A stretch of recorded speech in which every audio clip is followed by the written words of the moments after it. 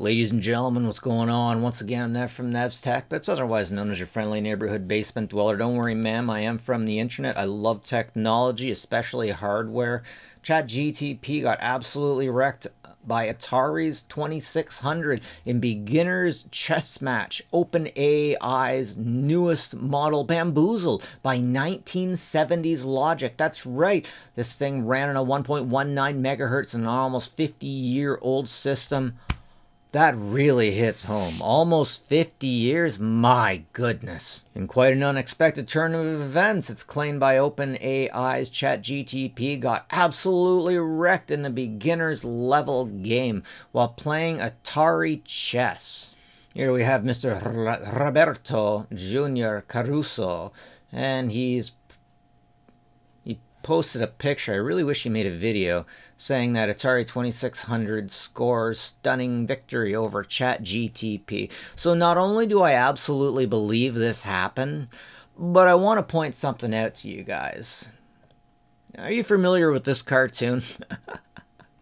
so you get different people at different levels who have different abilities with different things. That's why even in video games, you'll have your healer, you'll have your DPS, you'll have your tank, and some people are better at doing different things. Your healer's not going to be pulling. Geez, if you got a heal healer that's pulling aggro, you got problems. Anyways, Buddy here is like, for a fair selection, everyone has to take the same exam.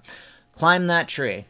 Now you got the dog, you got the fish, you got the monkey, you got the elephant. Now that monkey could pull that tree down, or parts of it at least. That monkey will get up there, hey, no problem, absolutely no problem. And that's what's going on here.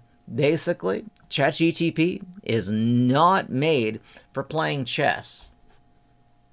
I see a lot of this stuff going on. Objectivity seems to go right out the window.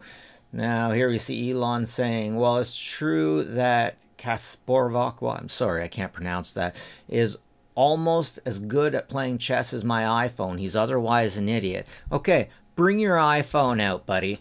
Put it on the table. Don't download any apps on it and have it play him. See how that goes. Now, also, buddy, this, this guy has the ability to pick up chess pieces and move them across the board. So your phone has the ability to do all of this stuff. Is it programmed to? Do you need to go out and get that program? That program has to be programmed by somebody. So while we could find chess pieces that, uh, or, or apps that can beat different people, just because you have a phone that's so powerful doesn't mean that it has the programming available to beat him. And I'm wondering where his math comes from.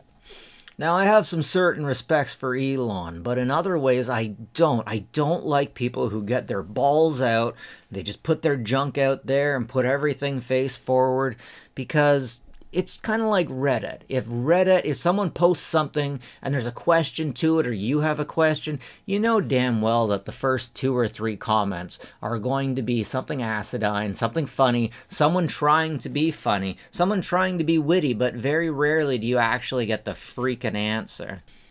I really think that Elon should change.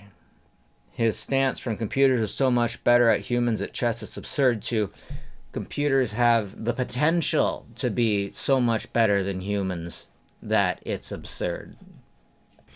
Now here's the real kicker. Did anyone ask GTP, ChatGTP, why it lost?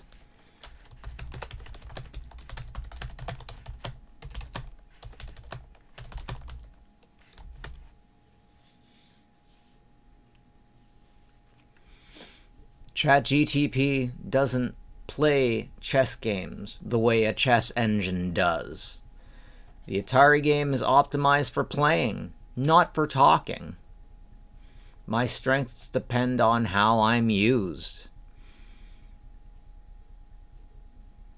It's a generalist AI, but it doesn't play chess. I absolutely gotta say, this story seems more like a story just to make a story and to put something out there. Chess computer games were popular from the early days of console to home computing, with computing and chess enthusiasts going to great lengths of grade ability chess engine versus the Grandmasters. You guys remember IBM's Deep Blue supercomputer made history when in 1997 it defeated Gary someone or other, whose name I can't pronounce. I'm very sorry. The, reigning world chess champion at the time. Instrumental to its victory, Deep Blue leveraged brute force techniques and evaluated 200 million possible chess moves per second. Okay, so how much I'm I'm sure that if you went to ChatGTP with a full paid version and you asked it to beat this game, it absolutely would. But topically, the free version of ChatGTP could it beat? No. How much time, energy, resource, bandwidth do you expect the company to put towards this? And was it a full paid version? I think that's very meaningful. Was it full paid?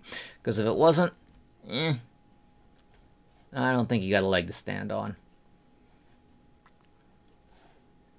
I mean, if we're going to look really close into it, there's definitely a lot of things that we need to look into. But one thing I definitely want to point out is this is a programmer giving a programmer crap. And I'm not sure if you know tech geeks, but we love to rip each other apart in the worst ways possible.